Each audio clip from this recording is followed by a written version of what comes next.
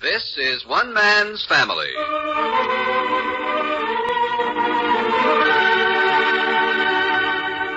One Man's Family is dedicated to the mothers and fathers of the younger generation and to their bewildering offspring. Today transcribed, we present Chapter 12, Book 71, entitled The Return of the Second Assistant Cook. It's another weekend, and Paul and Joan, after five days at the airfield and living in town, jumped in the car and were at the Sky Ranch in no time. Nicky had horses all saddled and waiting, and almost before they'd had a chance to announce their arrival and dump the Saturday mail on the hall table, they were in their vacation clothes and on their way back into the Santa Cruz mountain trails via horseback. Oh. Oh. Hey, Nicky. Yes, Paul? Let's pull up here in the shade and give the horses a little breather. the horses and who else? Oh, oh. Well, I will admit I'm out of practice. That saddle's been dusting the seat of my pants like a spanking machine. Try to. Uh, well, well, I say, Joan's fallen a little behind. Come on, Slowpoke. We're going to take a little rest. Okay, be right with you. She's a bit on the warm side today. Yeah. Whoa, whoa, girl. Easy, Sky Girl. I got her, Joan. Come on Oh, down. Thanks. There. Now just throw the reins over her head, Paul. She'll stand. Okay. Well, you got a little steam up in you, old girl, huh? Oh, here's a nice redwood log in the shade. Just made to water. Sit down, Joan. Hmm, nice mossy seat with my back against this madrone. Yeah. Hey, do I feel a cool breeze coming up the canyon, Nicky? That's right. With a tang of salt in the air.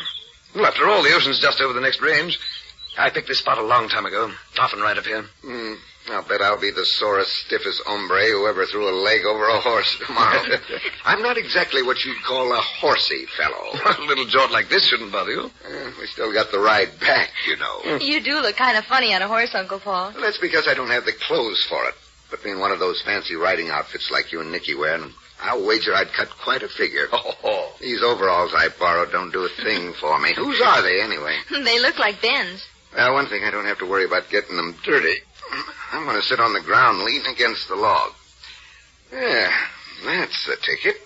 Nicky, you and Joan ought to try this. Solid comfort. Oh, I'm fine right here, old. Hmm, I don't feel a bit tired. Yeah, there speaks youth. Hey, I just thought of something. Why didn't I think to take Kenny riding last weekend when he was up here? Hmm. Bring a man to a horse breeding farm and not take him riding? Sounds silly, but I didn't even think to ask him. Paul, you missed out by not being here for young Arthur's visit. Yes, so Joan told me. Incidentally, you're quite right about that boy, Paul. He's a brick. Everybody liked him tremendously. I understand there were no fulminations on Dad's part. If you mean explosions, I think Ken would have had more fun if there had been. He was bored to death. No, I don't think he was bored exactly. He's rather a shy fellow, and your grandfather overawed him, that's all. Honestly, Paul, Grandfather took him and told him I hardly got to see him alone at all. No. Do you suppose he did that on purpose so I wouldn't have Kenny to myself? Wouldn't put it past him. Did Dad really get to like him, or was he just being the gentleman? Whether he liked Ken or not, I don't know. He hasn't committed himself to me on that point. I asked him right out if he didn't like Ken now that he'd met him, and I got the usual answer. What? A grunt? Naturally. Well, anyway, however he really felt, the old boy certainly enjoyed himself in the role of the perfect gentleman. He was so polite it hurt. you know how stiff he gets when he wants to be very dignified.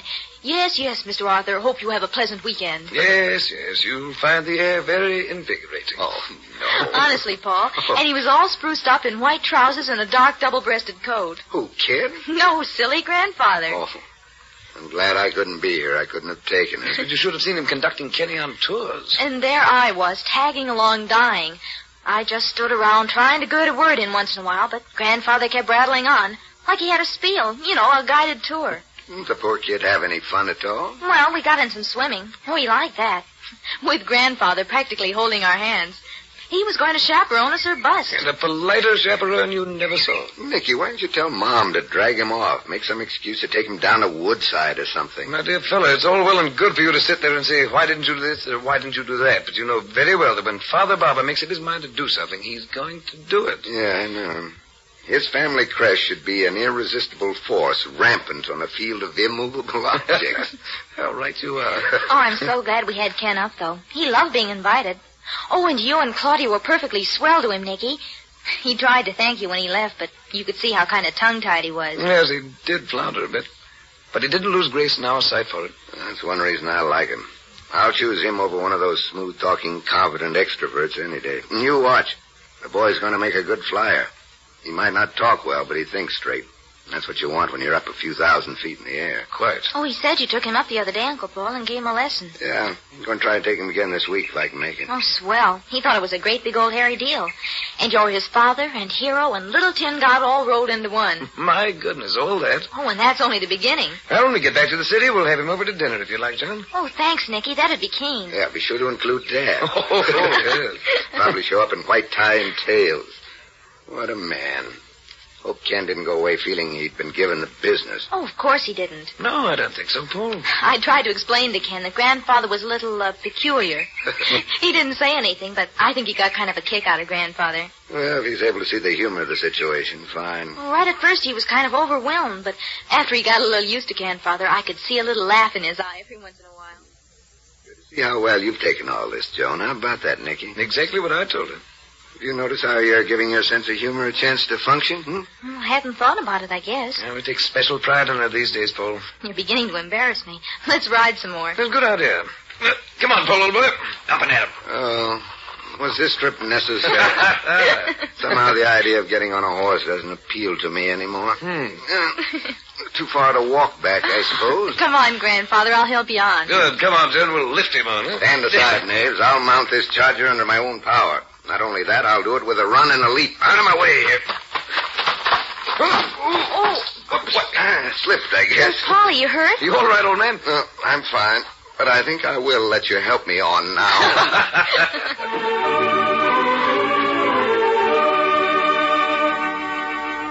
When William Herbert Murray, otherwise known as Pinky, insisted on working in a lumber camp for the summer, nobody in all the Barbour clan expected him to stick it out.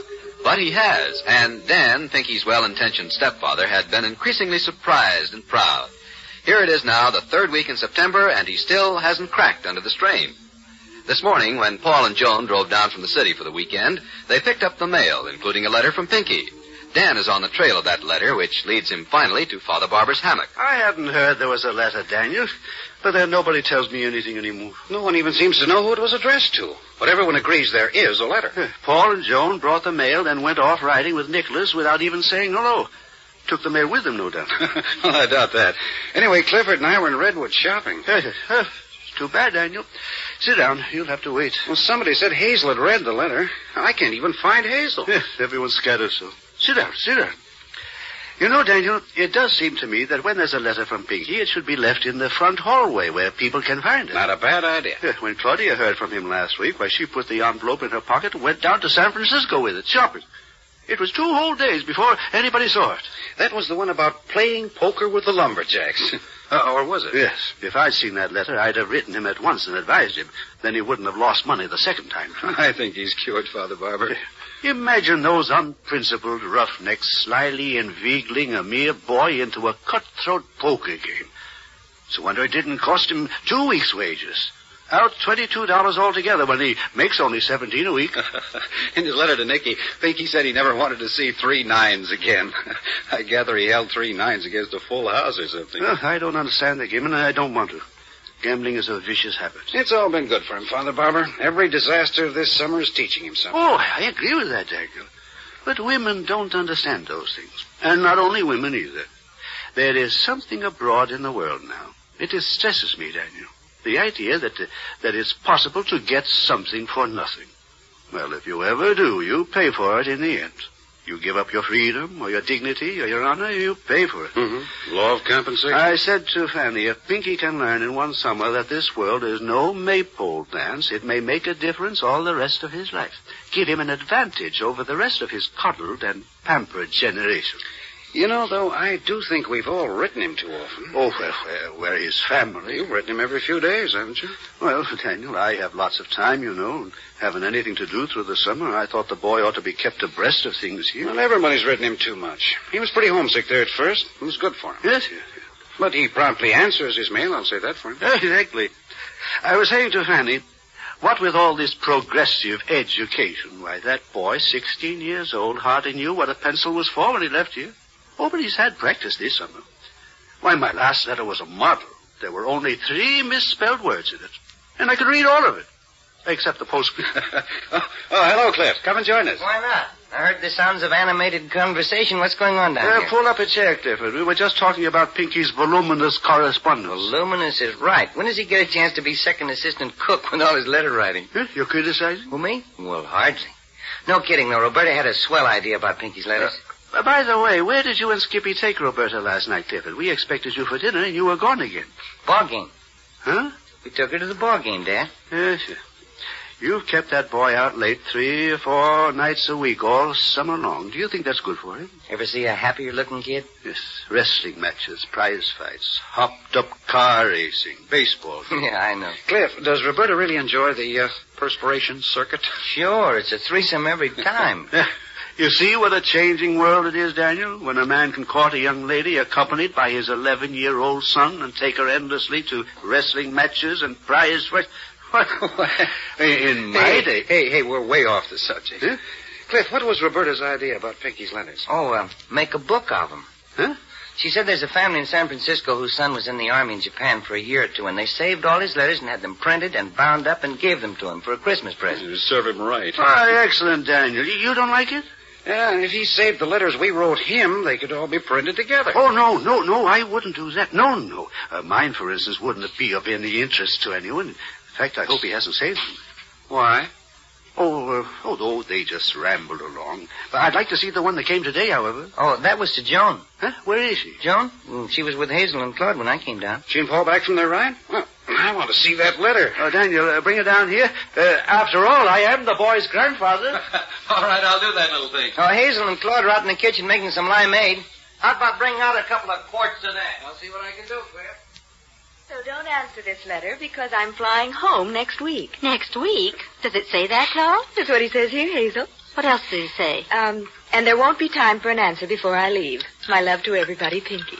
Goodness, Limeade invites so many interruptions, I'll have to read it again. Here comes one more interruption. Oh, who now? Paul. He was up showering and changing. Joan will be along in a minute, I suppose. She said to read her letter to everyone. I heard what was being cooked up in the kitchen. Is there limeade for a city bred caballero? Word certainly gets around. I'll pour. Get a glass. How about a thermos full? I'll take some to down to Nicky at the stable. Quart thermos right there. Reach for it. Mm. Joan said you had kind of a, a hot ride. Uh, it's fun, though. How do you like that new Palomino, Claudia? Sky Girl? Hmm, just a little more horse than I really need. Uh, Joan handled her very well. Did Joan show you the letter from Pinky? He's really stuck it out, hasn't he? Gonna fool the skeptics this time. June, July, August, and half of September. That's a long way to be away from home. You miss him a lot? Oh, you'll never know how much.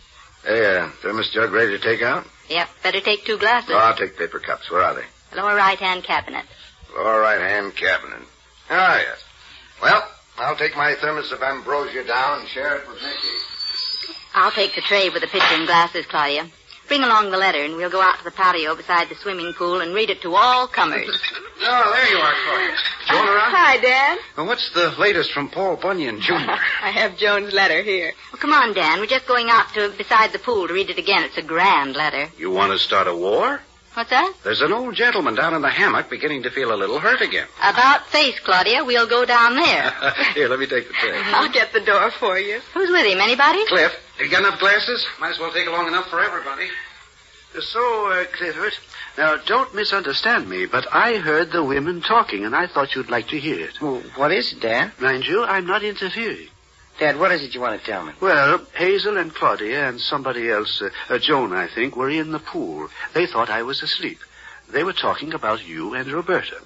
Now, Clifford, women know about these things. Look, Dad, I'm not going to get sore, no matter what it is. Well, they said that Roberta is a very agreeable, very, very charming girl. But no woman wants to go on dates forever with a man and his son.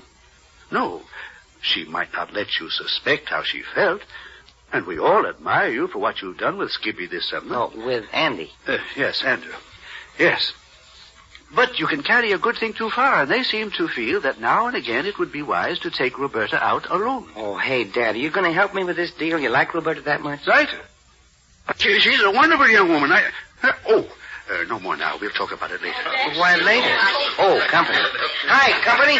Hey, move that table over here, will you, Cliff? This thing's heavy. Yeah, here, Dan. Sir, Claudia, Hazel. Well, this is fine. Uh, where's where's Joan and her letter? I have the letter here, Dad. Hey, uh, who's this for? Huh? This glass tube with a bend in it. They sent me back for that. It's a bent glass straw. Huh? What's it for? For you, Father, so you can lie in the hammock and still sip your drink. A bent glass straw. Now, isn't that thoughtful? Here, give this to Father, Claude. You don't even have to lift your head. yes, yes. Where's your mother? Taking a nap. She just got back from a walk with Betty and the children. Yes, I hate to see this summer coming to an end. I really do. Don't say it. I don't even want to think about packing. Well, when does school start anyway? Oh, we've made arrangements for the children to be a week or so late returning to school. September's such exquisite weather. However, we'll go back after next weekend, don't you think, Dan? Hmm, I may run down a little early. Why are improvements made like this only at the end of the summer? Now, take this straw now. All this blessed summer long, I've had to sit up to drink lemonade. Oh, that's pretty darn tough. Yes, we'll have to tell Pinky what you went through this. hey, when are we going to hear that letter? Right now, if Claudia will bring it out. Uh, Claudia, I was saying to Daniel, letters from Pinky should be left in the front hall where everybody can see them. There, Joan was riding in the mountains, and here we were anxious to see the letter. If she'd left it in the hall. I'm sorry, Dad. I don't think Joan knew that was the rule. Oh, no rule, just a good idea. Nobody does it. Oh, I can talk, talk, talk, and no one pays any attention to me. Pretty late in the season to begin establishing new ground rules, Father Barbour. The letter, Claudia, the letter. Here, Dad, you read it. you sure you want me to? Yes, go ahead. Yes, yes. yes I, I'll sit up for this. Take my glass, Daniel. Hmm? Now, my glasses. Here you are, Dad. Yes, yes, Clifford. Thank you. Now then, everybody ready? I've been ready for this for three hours. Yes, yes. Oh, uh, I was telling Daniel Hazel that I'm proud of him for the way he's handled Pinky this summer. Yes, it's a difficult thing for a stepfather, to, if I may mention this. It's a difficult thing for a stepfather to do what he knows to be right if it is going to entail any hardship for a youngster. I remember one time uh, Fred Thompson. Father, everybody wants to hear the letter. Eh, well, so do I. I was just going to tell you about Fred Thompson and his nephew. Father? Eh? Oh, all right. Everybody ready? Yeah. Dear Joni. Oh, Joni. Well, now, that's a term of affection I've never heard him use before. Come on, Father Barbour, come on. Huh? Yeah, Dad, you're holding up the parade. Am I indeed? Well, we'll start again. Wilderness Lumber Camp Number 4, August 28, 1949, via airmail. Dear Joni, the day your last letter came, there was one from Uncle Paul, two from Grandfather, and one each from Uncle Nicky, Aunt Claudia, and Mum. I've had wonderful mail this summer. Some members of the family wrote me every day, and some every other day. There are, Hazel. What did I tell you? Too much. Yes, that, that's true. In fact, I may have been a little guilty myself. I'd hoped he'd have periods when he didn't get any letters. You know, let him get the feeling that he had to solve his own problems. All of them, including homesick. I think he's had plenty of problems. By the time he pays his debts up there, he won't have anything from his summer's work. Yakety, yakety, yak. I'm interested in the letter if nobody else is. Huh? Oh, yes, yes. Yeah, where was I? Well, we'll start all over. Wilderness Lumber Camp number four. You were down in the second paragraph where it said every other day. Yes, yes, sorry. Uh, oh, every other day. Uh, altogether, I've had about a hundred letters, and when things were tough, I would get them out and read them over and over. I sure thank you for yours, Joan, which is the biggest surprise I ever had. It was nice of you to send me a check. Huh? Claudia. Why, Daniel didn't want us She to. couldn't have sent him very much. Besides, she earned It it. was very sweet of her. Yes, of course. Forget it. It's it's just that Hazel and I were trying to put Pinky up against reality, make him get along without help. I know, Dan, and I know why she sent it. When she heard he'd broken all those dishes and lost his wages for weeks and weeks. She's a darling, and it was very, very thoughtful. Yes, I know, and it was a very thoughtful gesture. It was only the principle of Hey, the thing. do I have to take that letter and read it to myself? Huh? Yes, why do you keep interrupting me? I've- Now I've lost my place. It was where he said it was nice of Joan to send him a check. Yeah. Uh, yes, have you just send me a check. My salary of $17 is fourteen ten by the time I get it. And besides breaking the dishes and losing over a week's wages learning to play poker, I also had to pay for the front bumper on Mr. Ossati's car. What's It's this? all right, Dan. Let him read it. Yes, yes, yes. Mr. Ossati sent me over to Camp two in his jalopy to get three cases of Boston baked beans, and something went wrong with the steering wheel, and I hit a rail fence and one tree. Oh, hey, how fast was he going, does he say? Uh, no, no, he, he wasn't hurt. It says nothing was hurt but the fender and the bumper, and one old tire blew up. Well, that comes pretty close to being a smash-up. There's Mr. Osati right. But I had the car fixed with my own money, and Mr. Ossati is speaking to me again. Don't answer this letter because I'm flying home next week. Flying? That's what it says. Well, how can he fly home? I thought he'd have to take a bus. I wanted him to have to take a bus. Hazel, did you send him any money? Now, uh, let's read this. It's the most interesting part. Oh, hey, what's that? Well, it's Nicky on the new Palomino. Something's happened. Yeah, Hazel! Was it Margaret or, or Hank? Oh, Dan. I say, didn't you see that taxi drive in? Huh? What taxi? We've been reading Pinky's letter. Is anything wrong? Well, don't bother to read Pinky's letter. Pinky's here. Pinky? What? Here. He's here. Oh, boy. I'll leave the horse here. Come on, he looks top notch. He's grown three inches. Pinky, Pinky's here. Well, well, well, let, us don't waste time. Let's get to the house. I tell you, there's nothing to do with this. Oh, Joe. Oh, where is he? Oh, isn't it wonderful? He went upstairs to see Mom. Let me get my hands on him. Hey, hey, what's all this? Look, here on the porch. Huh? Matched airplane luggage. Whose is this? It's Pinky's, my friend. Oh, oh Pinky. Yes, it belongs to William Herbert Murray, formerly second assistant cook in a lumber oh, camp. This is the most beautiful match luggage you've ever seen. Where in heaven's name did he get matched And, luggage? and look at this box. He brought presents for every single member of this family. Joe, what are you talking about? Dan, look, he spent a whole day shopping in San Francisco before he came on down to Sky Ranch. Uh, Dan, what is this? What's going on? I don't know. I think somebody just cut the ground from under me. Bear up, Dan. Accept it. It's a homecoming on a heroic scale. Poker. He's been gambling with those lumberjacks. A 16-year-old boy doesn't beat lumberjacks at poker. Let's call him down here. Don't say anything now. Not the first few moments he's home. Oh, oh, oh Pinky! Hi, Dan. Just coming down. Pinky, darling. Hi, Mom, Dan. Gee, it's good to see you. Why, he's grown a foot and a half. Look at that tan. Hey, Pinky, how'd you get a tan like that doing dishes? Hi, Joan. Hi, everybody. Hi, Pinky. Hi, Grandfather. Pinky, my boy. Well, that's a new suit. It's hand-tailored. Pinky, where in heaven's I name... got another one better than this. And two neckties and some shirts. Oh, what about this oh, luggage? Oh, most of that is empty, Dan. I liked it, so I bought it. The whole set. and say, I got some swell presents for everybody. Shall we wait till grandmother comes down? She's getting into a robe. Pinky, answer me this. Where did you get the money for all this stuff? Pinky? Answer Dan, Pinky. Why, I only spent the money everybody sent me. What's this? Oh, that's what. I beg your pardon. Why, sure, Dan. I get three or four letters a day sometimes. Every one of them with money in it. Oh, no. Dan, you want to see what I got with your ten dollars? Why, Dan, I thought. Dan only sent me ten dollars. But say, grandfather, I got some swell stuff with the fifty you sent me. Huh? Why, I, I, I, I didn't. I. hey, what's everybody looking so funny for? I thought it'd be all right to mention it when I got home. Didn't you want me to mention it even now? Gee, it practically made my whole summer. I quit. I'm through. I know when I'm late.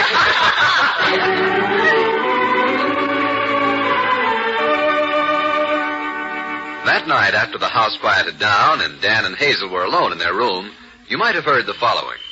Oh, Dan. It's so nice to settle down for the night and know that Pinky's safe. Home. yes, Hazel, my dear, that was a contented sigh, all right. Yes. I don't think I realized what a tension I was under with Pinky gone. I worried about him up in that old lumber camp. Well, your worries are over. He's home and safe, complete with luggage, clothes, and some experience he'll never forget as long as he lives. He was being so grown up all through dinner. yes. And the worldly attitude he took toward Hank. Did you notice that? Oh, poor Hank. He couldn't get in a word. Yeah, I'm afraid Pinky's going to make it pretty hard on the rest of the kids for a while. I expect him to pull a cigar out of his pocket at any minute. Oh, Dan, you don't think he learned to smoke up there in that dreadful place, do you? Oh, no, no, of course not. Well, I wouldn't be surprised with all those awful characters he came in contact with. Think of getting him into a poker game. Well, taught him a good lesson. Why not look at it that way? Well, that's not quite the way I like to have him learn lessons. You really don't think he's smoking? Oh, now, Hazel, I'd just no- die if he did. He promised me faithfully that whenever he wanted to smoke, he'd come and tell me first so we could talk it over. The thought of my children sneaking behind my back. Oh, here, here. Come on over and sit down by me. Come on. I've taken off my makeup. I look terrible. Ah, sit down. There. Yeah, I believe you were worried about that boy. Isn't that silly? As soon as he's home and I know he's all right, I, I feel trembly inside. Well, you just relax. Your son's never been healthier in his life. He's gained weight, he's happy, he's had a liberal education. What more could you ask? Oh, I know it's probably been wonderful for him. I... He's no doubt sound asleep by this time and dreaming of great big Idaho potatoes. Dan, you're so reassuring. Good. Hey, it's 10.30. We better get ready for bed. We'll be rounded out early in the morning. We certainly are the late ones tonight. I'll bet everybody else on the place is asleep by now. Up you go. And I'll be in undressed and in my... Hmm, what? Don't tell me we have a visitor at this hour. Mom, Why, it's Pinky. Come in, darling. We thought you were sound asleep by now. I've been talking to Hank. Well, come on in. Say, that's quite a dressing gown you got on. Yeah, that's what I wanted to show you. I looked out in the hall and saw your light on, so I didn't think you were asleep yet. Like this dressing gown, Mom? It's silk. Oh, it's nice, Pinky. The guy told me it was silk. It is, isn't it? Let's see. Well, it, it really is awfully nice. If it isn't, it's the nearest thing to silk, Pink. Gosh, you mean I got chipped? I paid twelve bucks for it. Well, don't worry about it. It fits you beautifully. The thing that sold me on it was this long fringe on this thing you tie around you. See?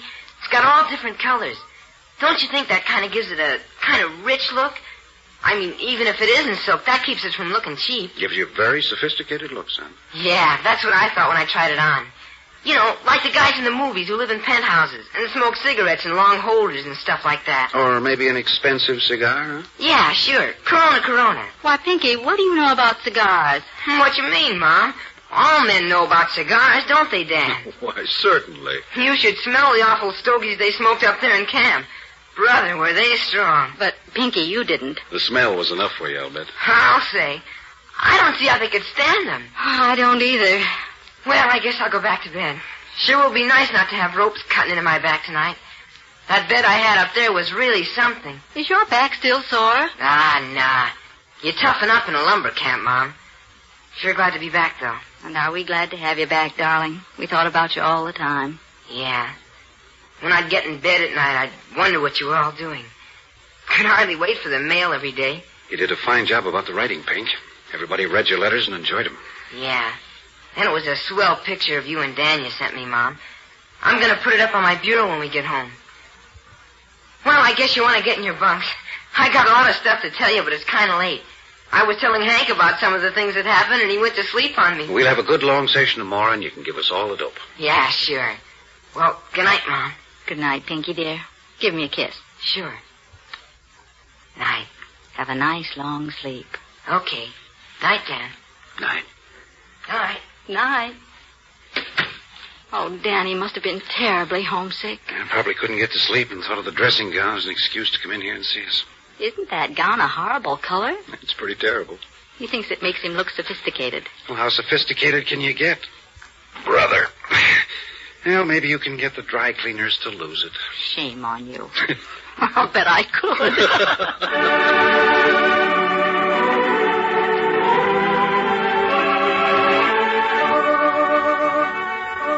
You've just heard Chapter 12, Book 71 of One Man's Family. Written, produced, and transcribed under the direction of Carlton E. Morse. Chapter 13, entitled End of a Summer Saga, will come to you next week at this same hour.